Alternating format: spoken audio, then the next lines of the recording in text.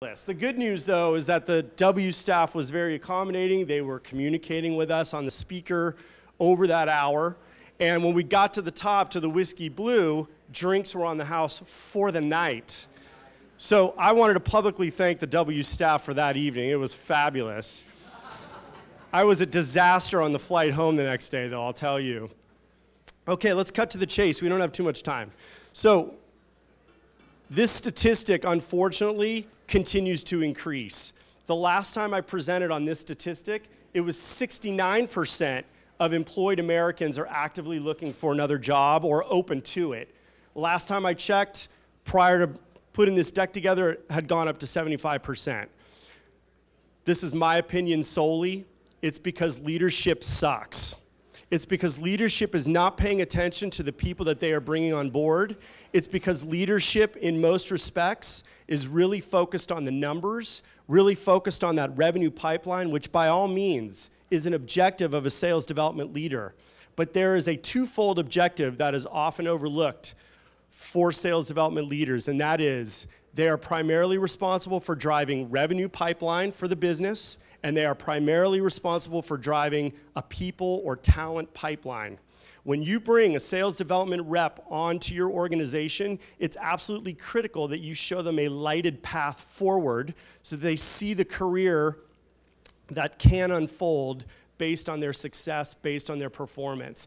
And the leaders that are missing that second piece are dealing with statistics like this 75% of people actively looking. So I will not do a show of hands of how many in this room are actively looking, but I will bet that it's because you're not being recognized, you're not engaged at all with what your company's doing, you certainly don't feel aligned, and the grass is looking a lot greener on the other side. Ironically enough, how about this? 75% of employers are struggling to attract or retain the top talent. Again, the focus is not on the top talent the focus is not on attracting the top talent. The focus is in the wrong slot, which is really the money. And I think the more you focus on your people and the development of those people, the money and everything else is going to come with it. Start to develop leaders. Start to look for leaders when you're hiring. I work in San Francisco, in Silicon Valley. It is arguably the toughest market on the planet. Atlanta is getting there. Atlanta's picking up. So, what I want to do for you today over the next 20 plus minutes is just share some of the practices that I have applied in my organization and some of the practices I know are working in other organizations. If you could take home one nugget today, then I've done my job. And while you're taking notes today, draw a nice line down the middle of the page and on the left side, write all the notes, but on the right side, you have to write your action items. You must take action on the notes that you're getting today. You can't just keep copious notes in notebooks only to get stacked onto your desk and never used. So do yourself that favor and take some action on some of the things you're hearing today. Okay, really critical to know that what you seek is seeking you. And for the sales development leaders in this room, your top candidates are actually looking for you. They're looking to work for you. They want to be part of your organization and your vision, and you should be looking for them too. And just through the basic law of attraction and a little bit of Zen, it's going to happen. But there's some activity and some action that you have to do in order to attract that talent. This reminds me of the late great motivational speaker Jim Rohn who said that success is something you attract by becoming an attractive person. He said it's, it's not something that you pursue, and how you attract success is by adding value to the marketplace. And guess what? The more value you add to the marketplace, the more valuable you're going to become. It's just going to happen. So, some of the things you're going to want to do is team up with the best. Not everybody in the room here works with a recruiter I do, and I work with the very best recruiter that I think is in the SaaS B2B world today, and that's Betts Recruiting. I am uh, privileged and blessed to have somebody like Carolyn Betts, who's an awesome leader in the recruiting space, right in my backyard. She's in San Francisco, and she is the premier recruiting firm in San Francisco and in Silicon Valley. She is now in New York She's now in Dublin, Ireland, and she also has representation in Austin and in Atlanta. So find Carolyn and find Carolyn's team, sales development leaders in the room, because they know a lot about the, the candidates before you even find out. They know who the candidates have talked to already. They know what your ideal candidate profile likely is. They will send a team into your office. They'll get the tour of your office. They'll talk to you. They'll really do a full assessment on what it is you're looking for, and they will help whoever is seeking you find you, and vice versa. If this talk today gets boring, go ahead and just download this white paper now and just start reading it because what I'm going to share with you are the insights that Carolyn's team and I have found over the course of several quarters of trying to hire people in Silicon Valley and in San Francisco. So definitely look up Carolyn, follow her, check out her team. They can help you too if you're looking for top candidates. This is my team. Excuse me, there's 10 of them. Uh, they are a hybrid role. They do both inbound and outbound again, we sell to human resources teams, comp and benefits teams.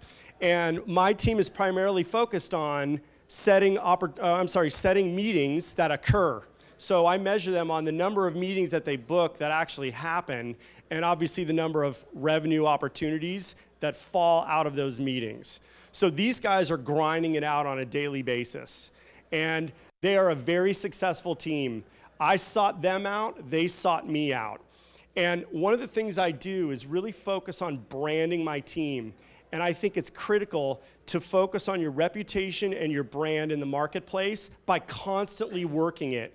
If my team has a fabulous month or a fabulous quarter, I'm not just going to congratulate them and we're not going to just go out to dinner. I'm going to tell all of you how well my team is doing as well.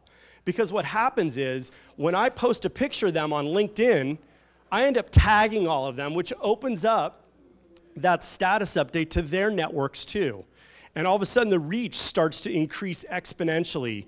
And the people that like the picture below, if you do a little research, you find out that potential prospects have liked it, customers have liked it, potential candidates have liked it, board, uh, board members have liked it, et cetera, et cetera. And the reach just grows exponentially. And all of a sudden, your reputation is starting to precede you. Holy shit, Ralph's team did it again.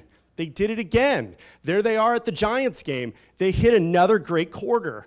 Wow, they all dressed up to mock one of their uh, top sales reps. And he, he was a good sport. He's got the hipster look going, so they all came in one day looking exactly like him. What do we do? We take a picture, we put it on LinkedIn, we post it onto Twitter, and we use social media to accomplish the goals that we're trying to accomplish. There are a lot of folks I meet today that are still very reluctant to use social media and to dive into the whole social selling world, here's the answer. You ready? Use social media to help you accomplish your goals, not to become great at social media. That's how it works. So if I can tout the reputation of my team and the reputation of my company, suddenly I get a reputation too as a really good leader who gives a shit about his team. And people who are looking to become sales development reps want to work for somebody like that somebody who's going to help develop them and help them grow and help them get off the sales development team in a timely fashion. Okay? Lastly, bottom left, that's a tweet from John Barrows.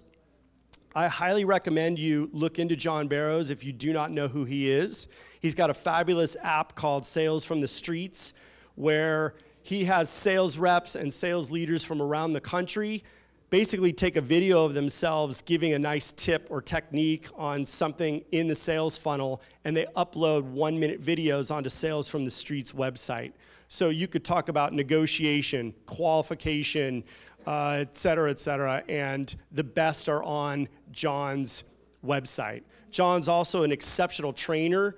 His pitch is I trained Salesforce's sales development team and sales team how to sell. That's pretty huge. That's a pretty huge pitch and he means it. So look into John.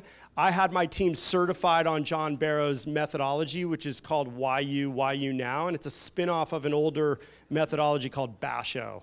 Check out John. As soon as the team gets certified, I write to John and go, hey, can you send a tweet out that says congratulations to the Achievers team for becoming certified? Sure, no problem. John's got a much bigger network than I do, And now even more people know that not only is my team doing well, but they're buttoned up, they're solid, they're certified by a guy like John, and they know what they're talking about. And just to piggyback off some of the things we heard in the main sessions, how to pitch and sell your product, he's teaching you about the buying process. He's teaching you about what your prospects are actually thinking in their process, which is really important. Ah, there's Carolyn again, wrong button. Okay, a bit of an eye chart, but I am going to go through some of this. These, I think, are critical steps. There's, there's eight critical steps that I've found that once you get the best talent, they want to grow. As I said earlier, they are looking for growth in their career. They're looking for opportunity to develop their skills, and they're learning. Uh, they're looking for a great culture, one where they can learn, one where they can improve. So by applying these eight or any of these eight components, you're already progressing. The first one is assign a mentor and a buddy. I have found it very helpful to sales development reps to get a buddy who's a peer of theirs, maybe a, a, an SDR who's a little more senior than them. But what's really important is that mentor who is a seasoned account executive, somebody who's where they want to be in the next two years or so. I also set expectations up front that this is a two year gig, and I do this in the recruiting phase. When I am posting a job description, when I'm interviewing, I am telling them up front, you're in this for roughly two years. And here's why that's important. You could go to a lot of different SaaS companies today, and you will start on the inbound team only, and you'll do nothing but follow up on the leads that Demand Gen has put in the funnel. And you'll do that for about a year, and you'll get really good at it. Then you'll get promoted, and you'll move up to outbound only, which is so much harder. You don't have the luxury of that inbound inquiry, somebody knocking on your door. So you learn prospecting, you learn territory management, you learn all the objection handling and qualification at the enterprise level. You're talking to multiple buying centers. It's not transactional, it's consultative. There's a lot of variables uh, involved in outbound versus inbound. I tell them that you can go to another SaaS company and you could spend a year in inbound, you could spend a year in outbound, or you could develop all those skills at once in a hybrid role here at Achievers. And I guarantee that by the time that two year term is up, and you are successful in that two year term, you are going to kick ass as an account executive. You will ramp faster, you will produce faster, and you won't be a consumer of value very long. You'll hit that break even point where suddenly you're a contributor of value. And that's what we groom and develop in the two year term of a sales development rep.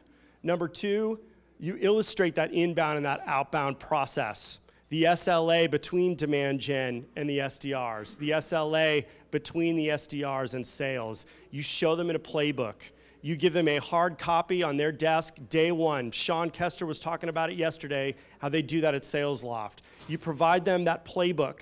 And in fact, it's the same playbook that even the seasoned reps use. So a lot of the seasoned reps grow in their career, and all of a sudden you hear, eh, I know that, I know that. Well, the playbook helps reinforce a lot of those basic steps. At the end of every chapter of a playbook, for example, you give them a checklist and you make sure that all those steps have been followed so that nothing falls through the cracks. Because you, you definitely want to lose in the first round and not in the 15th round. Right, Chris? It's, for, it's uh, proven. Uh, number three, provide the enablement tools that help the SDRs win. I won't hang on this too long because I've already promoted the webinar that Sean and I are going to be doing on January 23rd via BrightTalk, so check it out. And we're going to talk about the best enablement tools to use in sales development this year, or at least to consider. Certifications rule continually train the team, bring in people like John Barrows, but don't just train them, as was mentioned earlier, on your product. In fact, you want to train them and certify them on case studies and customer stories. So my reps, for example, are certified on 10 customer stories. So regardless of the vertical, regardless of the title, regardless of the problem that the prospective company is, is encountering right now, my reps can address what the problem was with these three customers, what happened when achievers parachuted in, and where they are today, how they've gotten better. Typically, my company gets the call when morale sucks, when retention is an issue and people are jumping ship, and we come in and we evangelize and talk about employee recognition, engagement, and alignment. So, knowing those customer stories is critical. I always encourage SDRs to go to the field. Do ride alongs with account executives. First of all, tee up the entire week for the account executive and then go into the field with them and sit in on those calls. What's really, really important to remember as a sales development leader is you need to see your sales development reps as who they are about to become, not who they are today. Don't see them as the sales development rep that's on the phone cranking. See them as the next great account executive that your company's going to have and treat them as such and encourage them at the same time to act as if. When they start acting as if they're already a senior account executive, they're going to ask different questions on the phone. They are going to approach prospects differently because they know when they bring a good meeting or a good opportunity to an account executive, they need to picture what they would ask if they were that seasoned account executive.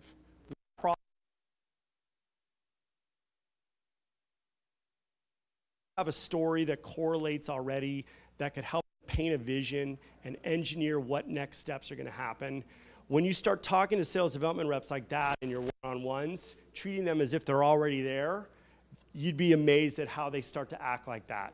And it's a beautiful thing to watch because as a sales development leader for some time now, one of my biggest fulfillments in my career is the growing alumni group that I have.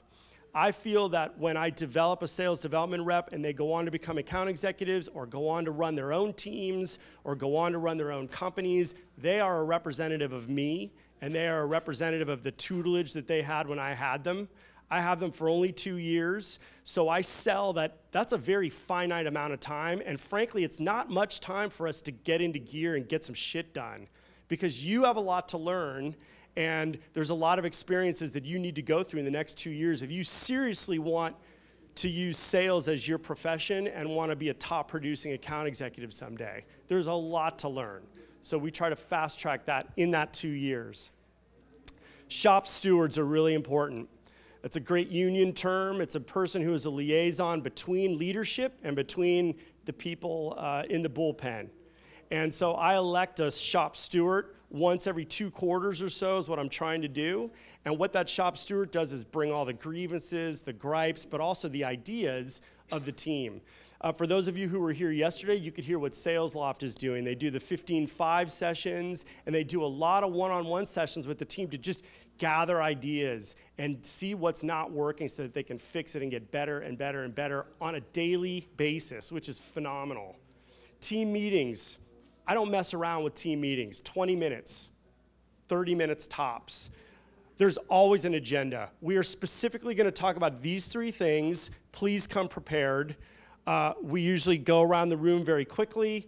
Uh, with you know great stories, or we'll share maybe one or two stories. But in 20 minutes or less, they're out the door and know exactly what they need to do for the week. One on ones, I rarely have one on ones in the office. Put the laptop down, let's take the elevator downstairs, and we take a nice walk around the block. And what happens is the guard comes down when they've got oxygen, when they're breathing. They start to talk as the people that they really are. And you, as the leader, get to uncover the purpose. You know why they're there. You know why they're sitting in that seat. And unless you do, you're not going to be successful as a sales development leader. You have to get to know your people. There are results and outcomes that everyone is after. But once you identify what the purpose is of your reps, you're cooking.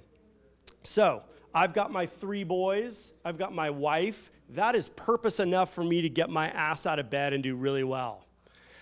I was in a band with a lead singer that I went to college with. In 2009, when he was 38 years old, he dropped dead of a heart attack. Had no idea that he had this heart condition, but he had an enlarged heart. Turns out his condition was genetic, and his daughter has the gene. She happens to be my goddaughter. So suddenly there's a little more purpose in my life. And what I did with a couple of my buddies is I mobilized and we created a 501c3 foundation to prevent this shit from happening to people, where fathers are dropping dead of heart attacks at age 38. Athletic, fit, great sales guy, great person, gone.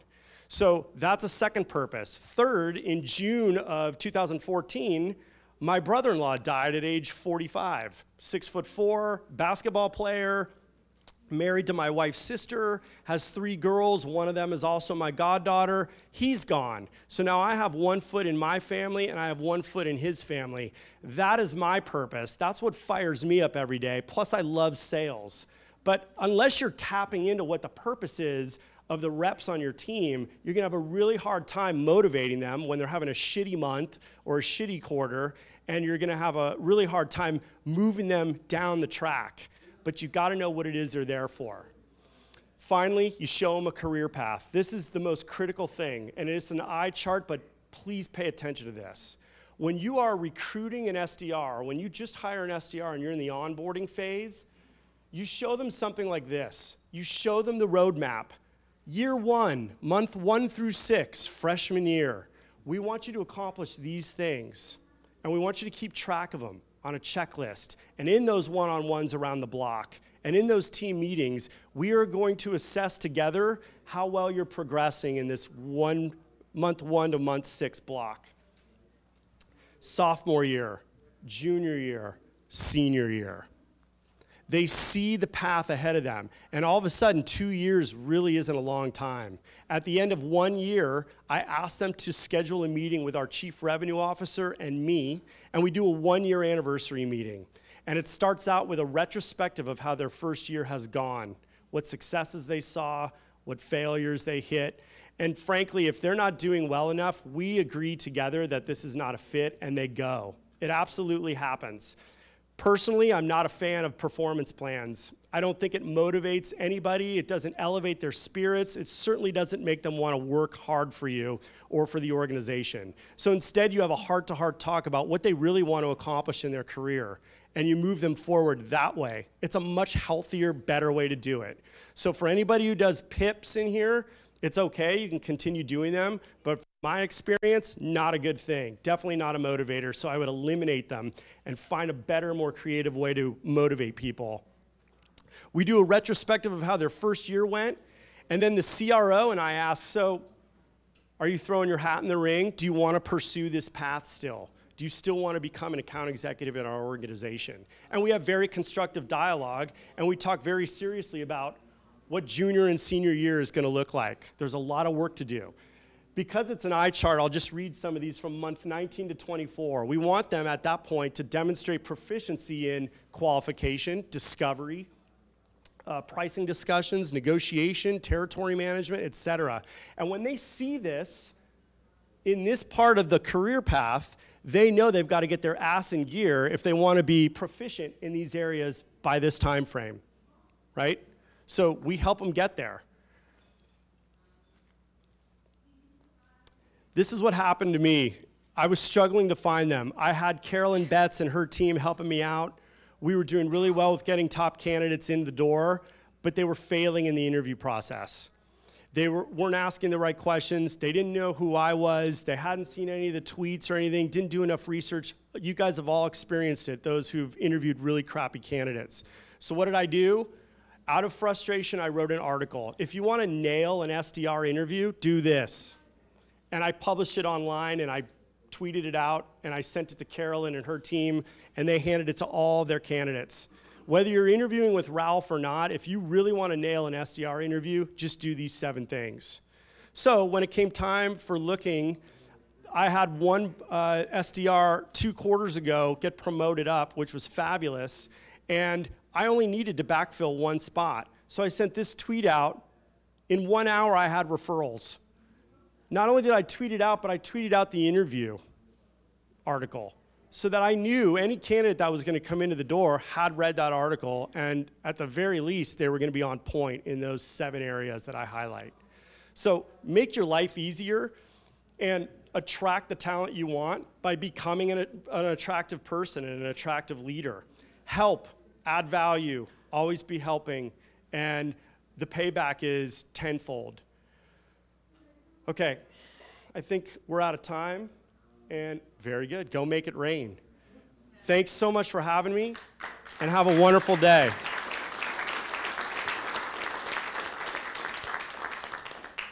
No time for questions, Sean? Is Sean even in here anymore? We're good. Anybody have any questions? Yes, ma'am. How often do you do your one-on-ones? Are they weekly or less frequent? Uh, how often do I do one on ones? Weekly. Uh, when you've got 10 reps, sometimes that's my entire week. So I have, uh, I, I called an audible and I said one on ones on Tuesdays and Thursdays. That's it. You get 15 to 20 minutes with me. We'll walk around the block. We'll go get a cup of coffee. We'll bullshit, and we'll make sure that you're you're good to go. And the one-on-ones are critical. Do not overlook one-on-ones because as an active listener and as somebody who really cares about their sales development reps, those are the times when you're when they're going to tell you what they're really thinking. They're also going to tell you what the pulse of the team is. They're going to they're, you're going to learn a lot of information. Please that take that more seriously than a lot of stuff. These are your people. Yes, Lori. How do you help uh, people learn between coaching and solving problems? Oh, that's great. So the question was, how do you help people learn coaching versus solving problems? So for sales development leaders, to be a good coach, you have to instruct your sales development reps that as you learn, learn as if you need to teach someone the next day. The sales development role is constantly turning. People are out, people are coming in. So these sales development reps know that just in six months, they could be asked to shadow with a brand new sales development rep. So when you're teaching your sales development reps all that there is to know, teach them as if they need to then teach someone when they come in the next day or the next month or the next quarter, and it, they'll grasp it like that. And that's how you encourage coaching. Because the best sales development leaders, in my experience, they create leaders. They create leaders on their teams. And as Anthony and Sean were talking about yesterday, leaders are servants. We are not looking down upon the sales development team. More calls, more opportunities, more pipeline. We are instead going to them, how can I help you? How can you be better? How can I help you be better? What could I do to be better? Do I need to spend a little more time on our one on ones instead of 15 minutes? Should it be 18 minutes or 30? I might make an exception, but tell me how I can help you. Any other questions? Yes, gentlemen in the back. I'm sorry if I missed this, but um, if you're actively recruiting SDRs, do you have any resources you can point us to, the, the right interview questions, the right process to go through, to weed out the good from the bad? I will, and find me afterwards because I'll, what I'll do is I'll email you a number of links, and what I should do, and this is overdue, is post an article where all those references are. Um, Lori, do you know of any uh, blogs, uh, Matt Heinz or yourself, anybody who's got the questions uh, for interviews for sales development reps? Yeah, I have a whole list of them. So Maybe ask for more sales. at Score More Sales is Lori Richardson's Twitter profile. She's got a bevy of info on that stuff. Thanks for that question. One more? Yes, sir? So, given the content of your one-on-ones is sort of they're, you know, fairly informal and just kind of you know, two-way dialogues, where do you implement your kind of data-driven coaching and performance management, kind of looking at metrics? Great question. So the, the one-on-ones, very people-oriented, one-on-one time. I mean, the elephant in the room is you guys got to look at data. You got to look at metrics. So what we do is we use Salesforce and we look at those metrics together in that team meeting. We don't look at them in the one-on-one unless we absolutely have to. But um, we look at them in the meeting. We have a team dashboard that tracks what we're measured on. But most importantly, what's really helped my team is I've had our Salesforce administrator create individual dashboards for every SDR. So when they log into Salesforce, they're looking at their dashboard only, what they are doing, how they're measured against the team, what you know, what progress they're making or lack thereof, and that really, really encourages them because they're staying in their own lane. And then, in addition to that, I will always share data analyses that are being pumped out regularly in the sales development world online. If there's a great article from Steve or a great article from Lori or Trish or Craig Rosenberg, I will make sure my entire team sees that article and we'll even discuss it. What metrics are being uh, gleaned from our industry, right, and from other sales development teams, and that really helps people compare and contrast really how good we're doing. Thank you for that. Thanks, everybody. I really appreciate your attention.